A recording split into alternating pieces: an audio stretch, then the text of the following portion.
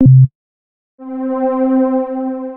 kind of referenced earlier in the week. Does it seem like there's less on the table, but you guys want to, you know, work on those plays Yes. more, kind of Yes, thing? Like yes. get. I, I think you used the phrase "jack of all trades, Yeah. master of none." Are you trying to become a master of certain trades Yeah, now? Is that how it goes? yeah. Um, we, we weren't able to show everything because you know we, we can't. But um, but yeah, I think we were because what he did was he gave us little by little, and it was amazing because now we were able to you know master one thing and keep working on that, keep working on that, keep working on that until you know it was like second nature. You know, because before last year, you know, we struggled because we didn't have an identity. You know, and now we have a true identity. So I'm, I'm excited.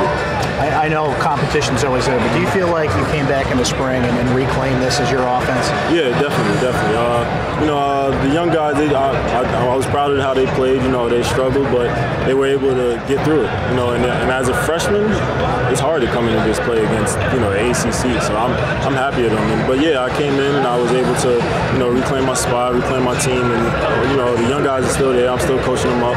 You know, and they're, they're, they're good. I just love that they push me. You know, even when days are hard, you know, they they're. If they throw a nice pass, I'm like, oh, I got to pick it up. You know, that's just how it is. That's how the quarterback run is. So. So, what's the plan for the summer now? Working with the receivers, and, and how's that going to go for you guys? Well, yeah, we, we got to work with the receivers definitely. We're, I'm trying to get it where we could work with the whole team, you know, not just one.